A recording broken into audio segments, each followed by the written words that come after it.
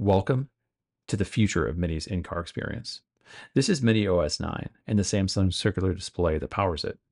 While it looks more complex than before, it's substantially more powerful. And if you can master it, it's really quite simple. In this video, we're going to go through 14 key pieces of functionality in Mini OS 9 that will make you an expert in just 15 minutes. So when you first turn on the car in a new Mini Cooper, Mini Countryman, you're greeted with this screen. Now, I have CarPlay also enabled in this car. Android Auto is also available. It's wireless and both are fantastic.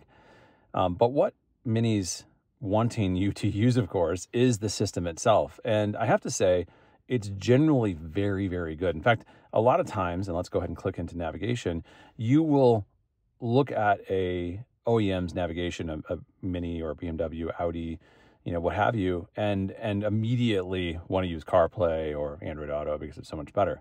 That's not necessarily the case. And what's fascinating with this with this system is it's really built on modern tech and it is built in a way that leverages a lot of things like traffic data as well as point of interest data. So while it's not as pinpoint as Google Maps, it's pretty pretty close, um, close to Apple Maps too. And so you know what you get in this scenario and it's fantastic of course is use of the full screen. And if you go to apple and in this case apple maps we'll just go here you see with carplay apple has yet to allow for the full usage of the screen. Now they do let it sort of bleed out so if we go into settings and we change wallpaper you'll see immediately that it sort of comes out to the edges of the screen itself. Kind of a new you know interesting trick if if that's what you like um, call me boring. I always go black. It just kind of sort of blends in when you actually get into the OS itself. But we're not here to necessarily talk about CarPlay. I want to talk about Mini OS 9 a little bit. And at this point, which is the main screen, consider this, you know, the sort of opening screen of, of Mini OS 9. This allows you to scroll left, right. So here you'll see my screen I'm sorry, my phone that's paired. Yes, it's G phone. I find that hilarious continuously. Um, you go maps, you go uh, current media playing. This is through CarPlay. You've got Mini. We'll get to this in a second. Um, I'm not going to say the name, but we'll get to that in a second. Um, weather, some info on the actual sort of data on the car. Um, this is a uh, a look at sort of the surroundings of the car, and this sort of supports parking situations like that. And of course, a clock, which I don't know who throws that on there, but there it is. So, okay, all great. Let's actually talk about this. And so we've we've seen the uh, spike um, imagery where people uh, use it as sort of a, a, a version of um, the uh, you know Siri or uh, Android Auto's uh, you know sort of companion. But here it's a little different. And so to, to start this, I simply say, Hey, Mini, tell me a joke. Did you hear about the Minis who got married? No. They had a two-tiered wedding cake. Okay, that's great. Or not. But you get the point here. Um, let's try another. Hey, Mini, can you tell me how to get to downtown Chicago? So one of the things I wanted to do there is follow it up with a quick response, and you'll see right away uh, it didn't hear it. And so where Siri and other uh, you know sort of uh, AI companions, if you will, have gotten much much better about prompts, Mini isn't quite there. It's not bad though. So let's try again and get more specific. Hey Mini, can you take me to the Merchandise Mart in Chicago? Would you like directions to the Merchandise Mart Plaza on 222? So I have found it to be very good. Um, now, responsiveness, you saw I just clicked it. It didn't click. I've noticed I've had to click it again sometimes. Um, and you'll see immediately, okay, great. So I've got a couple different scenarios here in terms of getting there, which is cool. Um, it feels a lot like, you know, Google Maps. Um, you've got, of course, some things that you can turn on or off, which is really helpful. We're going to go backwards. Um, we can also say things like this. Hey, Mini, can you turn my heated seat on? In which seat should I activate the seat heating? The passenger. Seat heating activated for the passenger. So what's cool about that is there are legitimately a lot of functions that sit behind the screen And in this case, it's easy for me to click that on or off. Um, but it just saves time, especially when you're driving. You know, think about it.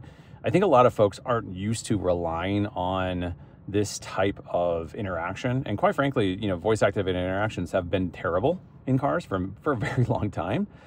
But I'm here to say they're pretty good uh, in the new Mini. And, and I would actually urge anybody who gets in these cars to give them a shot because they are, from my experience, uh, really, really functional. Um, which is fantastic to say. All right, so we looked at the navigation. We took a look at just actually briefly um, the heating and cooling controls.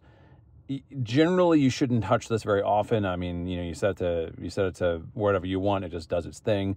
This is how you operate the dual climate control. I think this needs to be better. Um, I would love to be able to just click and drag. Uh, you can't do that right now, so it's a click and then a drag. Uh, and the specificity, it's okay, could be better. Um, and of course, as you can see here, you click once and you turn on the various things around heating, steering wheel, seats, etc. Um, so it's not bad. I, I personally think there are a couple elements here, functionalities that should be physical buttons. I think that's one of them. Uh, but you let me know in the comments what you think. I imagine a few of you will agree. So let's go back to home really quick. So we took a look at that. We took a look at navigation. You know, we of course took a look at CarPlay. Let's take a look at the apps themselves. There's a lot here. And, and quite frankly, a lot of it is overwhelming. You'll notice a couple colors or sort of this interesting color right here. This is actually part of Mini Connected. Um, it is a add-on feature that you pay for monthly. And so what's interesting about this, and it's going to load slowly, it's the cell connection, it's not the Mini, is that, you know, listen, there's a lot here that isn't necessarily the most, uh, how do we say, like usable from a daily perspective. Um, as you can see, there's a lot of games, um, a lot of different apps, etc. And it's kind of interesting. So I can actually download these apps. It gives me the ability to have access to all of this. Um, but Mini Connected also gives you a chance to use Driving Assistant Plus, uh, which is helpful. Um, that should be standard when you buy it from the car. It's the Mini Connected Plus and some of those elements that actually give you a little bit more. So, for instance, additional apps, AirConsole, so you can play games in the car. The Intelligent Personal Assistant, which we just looked at, that actually is part of Mini Connected. Um, the doors and windows sort of unlocking and opening in certain areas, mini maps extended as well, and video streaming. So, you know, this is actually going to expire, as you can see here, in a couple months. Mini Connected Plus, it's an interesting move for them, and you can see what this is. Um, I would recommend trying it because I do think there's a little bit of uh, uh, legitimate um, functionality that is that is interesting here. Um, so that's Mini Connected Plus. You've got, of course, apps uh, within the App Store. You can get into a specific, uh, and you can see here, you can add all of these if we want. And you can play these apps directly in the car. Now, the one thing that's missing for me is Apple Music. And it's interesting because I, I, I know Porsche, for instance, has Apple Music integration. Um, we see here Spotify. Uh, so this needs to be rounded out a little bit more, but it's interesting to see where Mini has gone with this. Um, entertainment, music, it, it's cool. And I, again, Mini Connected Plus, it's worth trying at the very least. So now let's get back to this. So you can take a look at all of these apps and you can actually sort them by infotainment, vehicle, recently used, mini connected. So let's go vehicle. These are these are apps that are associated with the vehicle itself. And so here we have things like displays, which we can, of course, cockpit brightness, heads up, interaction unit, things like this. We can change all those settings. Assisted view, which we looked at earlier. There's a shortcut on the, the home screen. Data privacy, drive recorder, um, experiences. And I think this has not been turned on yet, as you can see. Um, this is kind of interesting because, of course, you can actually take a look at what's going on from your Mini remotely.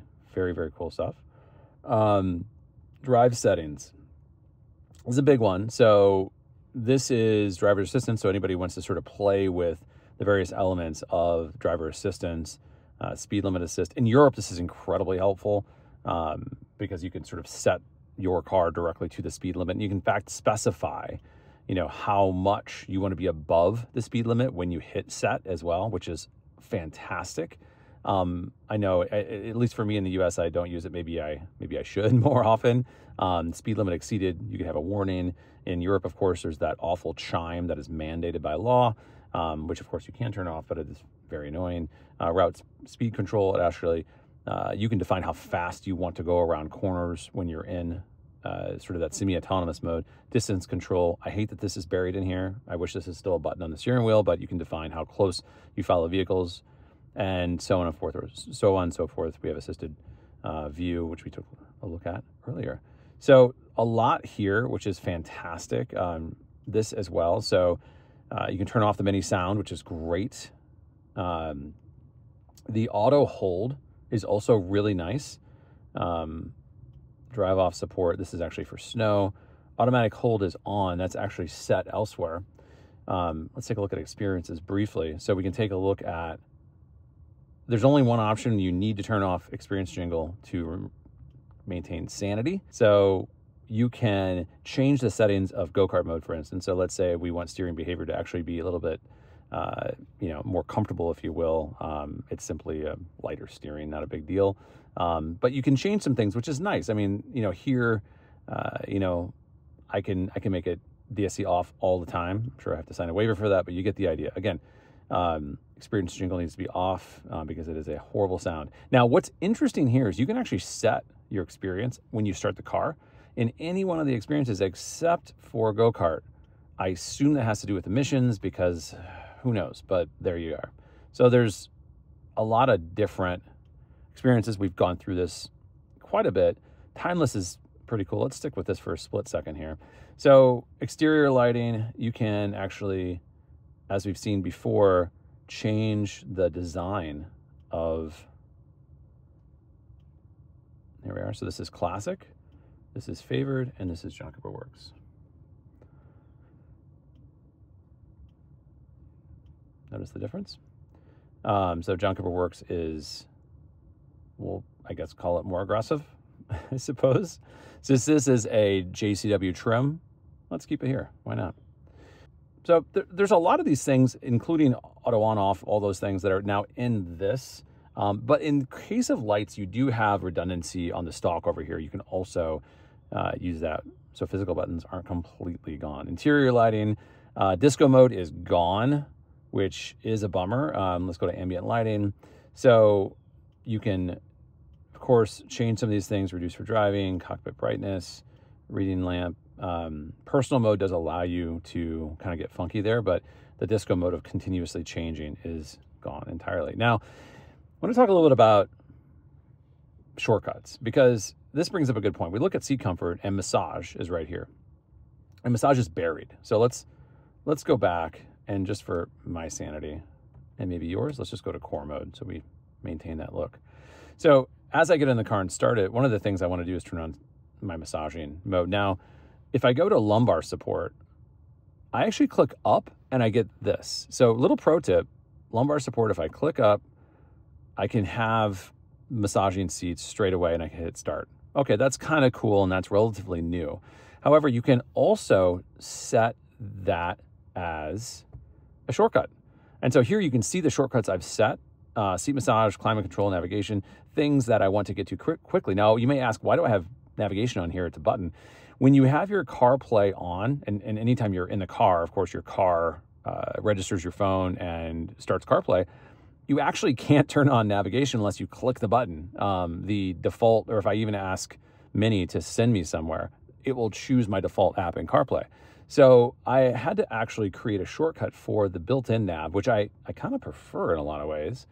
Um, so I can click it right there. So you can see some of the other things I've, I've I've added, uh, you know, and, and to add things to, to, to um, shortcuts, you simply click and hold. It's already added, but there you would see it. Let's, for some reason, anybody wants data privacy added to shortcuts, you just click add to shortcuts, and there we go. You click and hold to delete, just like you would expect. So shortcuts is an awesome way to really personalize this experience like there's no question this is a little more complex. There's more here to to to edit and and sort of you know make your own. But once you start to understand the user experience and really get behind kind of the UI, it starts to make a ton of sense. You also have the search function here. So if you need to actually get into very specific areas that you're not sure where they lie, you can simply search. So that is a really quick look at Mini OS 9. As you can see, it is also much quicker than we've seen in the past. Uh, I have driven a lot of these cars and I'll be very honest, they've been a little buggy. Um, it felt like beta software until now. This is the first time I have spent, gosh, it's been about 600 miles in a car, seven days, and I have not had one bug. I've not had what I would call one lag. It has been incredibly smooth and, and quite honestly, very seamless in day to day use. As you can see, Mini OS 9 has become really a refined version of where it was about six months ago. And it's become a selling point for this car. This circular display is almost shocking to people when they first see it. And the fact that it is smooth and, and really refined, responsive, loaded with functionality, it really becomes a, a hallmark of what this car can do. Now, is it more complex than, than before? Yes, it absolutely is. But once you get the hang of it, once you sort of understand the UI and UX behind it all, it becomes pretty easy. And eventually, in my experience, it really becomes almost transparent to your driving experience, which is exactly what you want. You don't want to focus on this. You want to focus on this. And so far, that's been my experience in this latest Mini Cooper with Mini OS 9. As always, give us a like if you like this video and subscribe. We've got a lot more content coming.